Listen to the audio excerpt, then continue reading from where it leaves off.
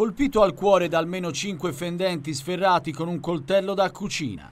Così è morto Paolo Fiorentino giovedì nell'alloggio abusivo occupato all'ex campo profughi di Marina di Carrara.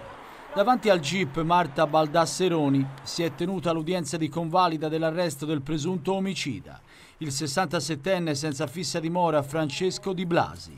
In aula l'indagato si è avvalso della facoltà di non rispondere, ma intanto cominciano a diradarsi le ombre sulla dinamica.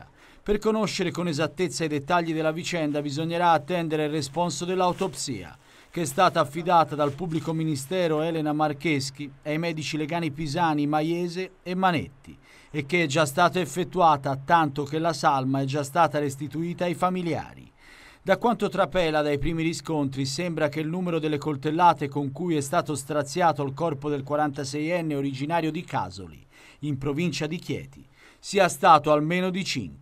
Di queste qualcuna ha colpito il cuore, ma quale sia stata quella fatale lo si potrà sapere solo dopo l'esito degli esami. Questi saranno decisivi anche per stabilire l'ora del decesso e chiarire se la vittima avesse assunto alcol o altre sostanze.